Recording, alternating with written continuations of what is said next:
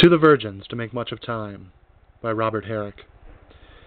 Gather ye rosebuds while ye may, old time is still a flying, and this same flower that smiles today, tomorrow will be dying.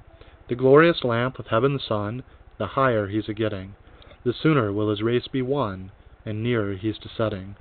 That age is best which is the first, when youth and blood are warmer, but being spent the worse and worst times still succeed the former. Then be not coy, but use your time, and while ye may, go marry, for having lost but once your prime, you may for ever tarry.